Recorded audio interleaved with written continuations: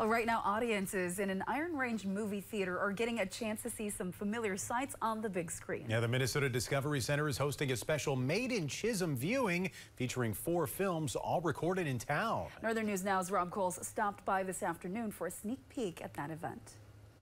I'm here at the Minnesota Discovery Center. Tonight's Made in Chisholm screening gives local attendees a chance to see some familiar sights they see every day up on the big screen. It may look empty now, but tonight every seat will be filled for the sold out event. Three short films, including Game of Stones, Supper Club, and Reclaimed, tell true stories about some Chisholm landmarks. Canusa Street, a comedic TV pilot about a fictional town cut in half by the U.S.-Canadian border, will also be part of the showing. Filmmaker Matthew Koshmerl says tax incentives may entice production companies to come to the Iron Range, but the growing industry also opens up a world of possibilities for local filmmakers too. So I think it's really important to see that you can, you know, become a filmmaker uh, if you're from Chisholm or if you're from Virginia or Hibbing, um, and that you don't have to be from you know, Los Angeles or New York, that there is uh, accessibility of that here on the Iron Range. Koshmerl's documentary Supper Club is part of the screening tonight. It tells the story of Valentini's Supper Club,